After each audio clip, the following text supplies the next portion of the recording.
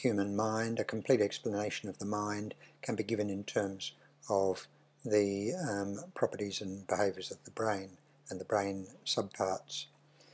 Uh, now, just to give you some examples, there's the work of Eric Kandel, who's a neurophysiologist and Nobel Prize winner, um, who published a book in 2005 in which he said, Mind is the complete set of operations of the brain, and the basis for the new intellectual framework for psychiatry is that all mental processes are biological. Radical reductionism will transform psychiatry. So that's a very bold statement, but why did he choose psychoanalysis as in the, the title of his book? And why did he choose reductionism?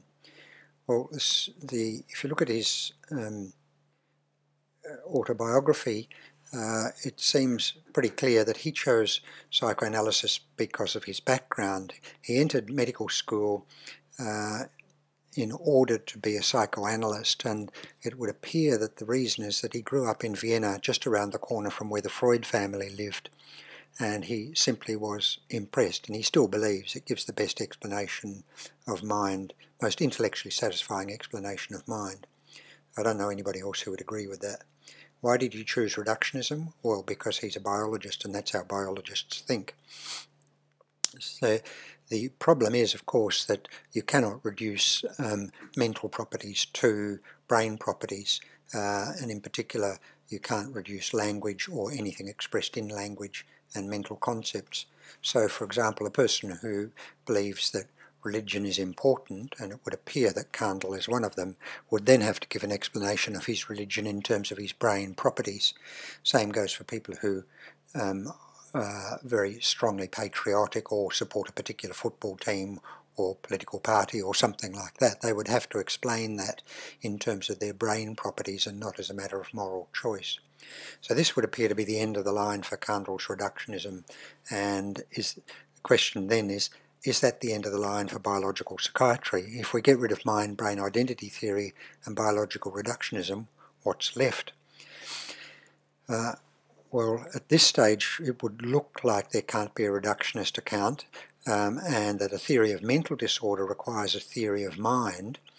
Uh, but the problem is, in any theory of mind, there are a number of classic errors.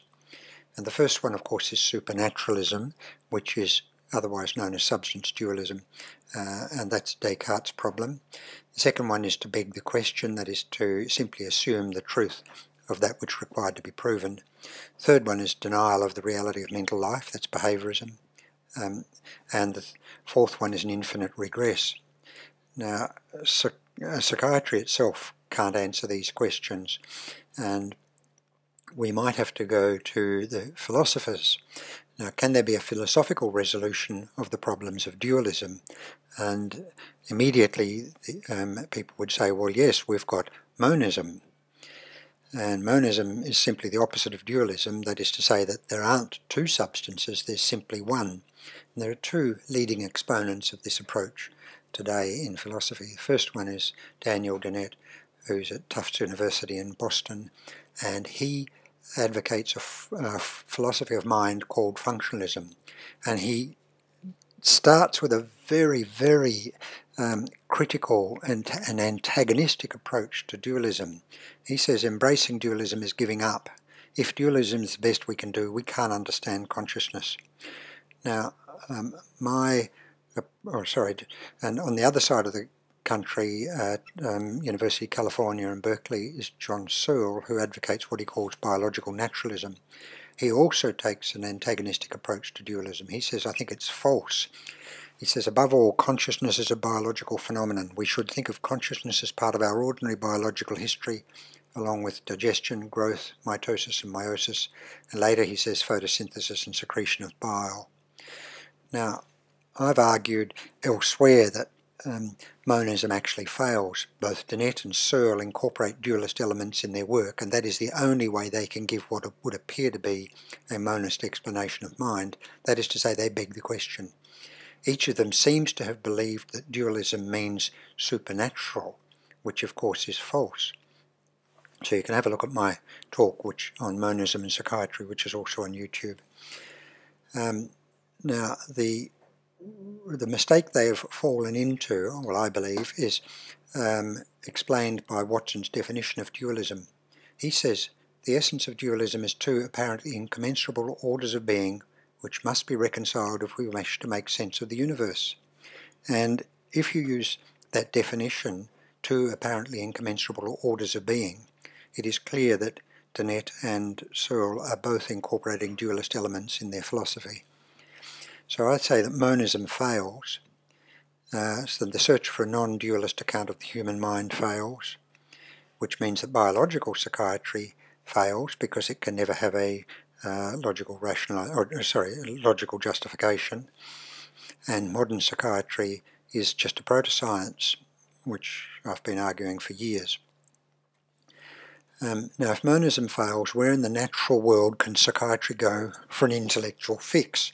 You see, we need a theory of mind before we can have a theory of um, disturbed mind. We need a theory of mental order, otherwise known as the theory of mind, before we can have a theory of mental disorder.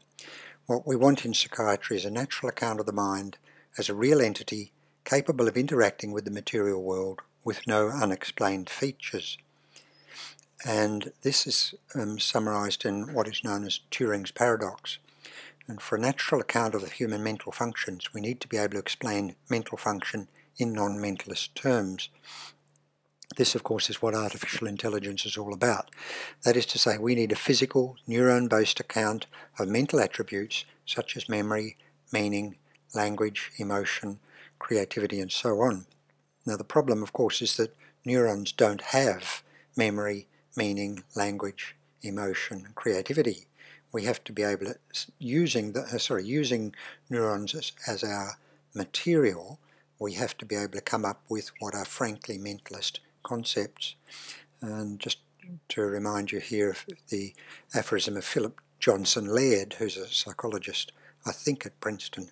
He said any scientific theory of the mind has to treat it as an automaton. So that's the problem.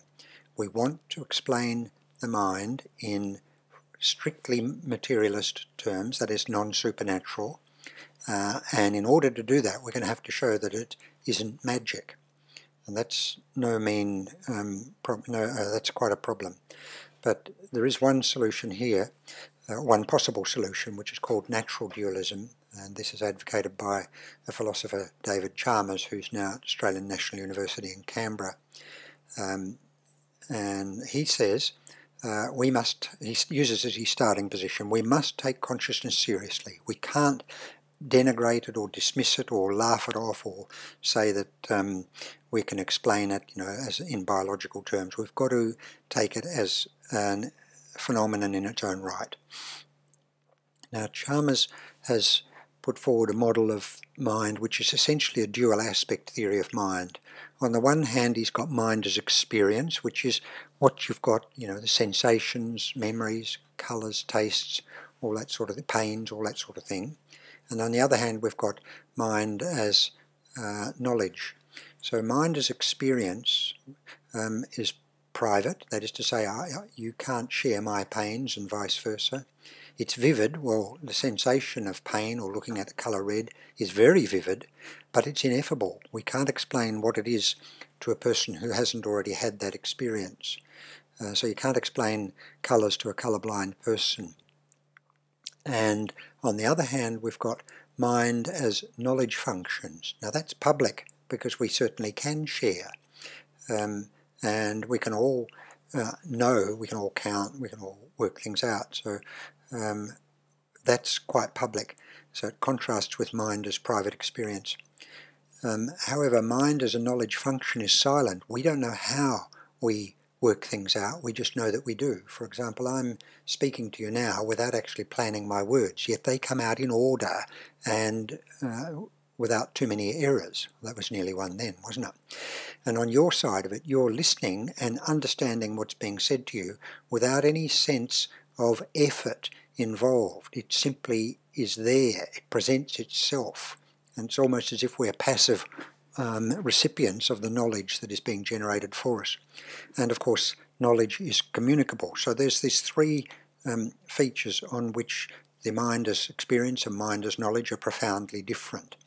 And essentially,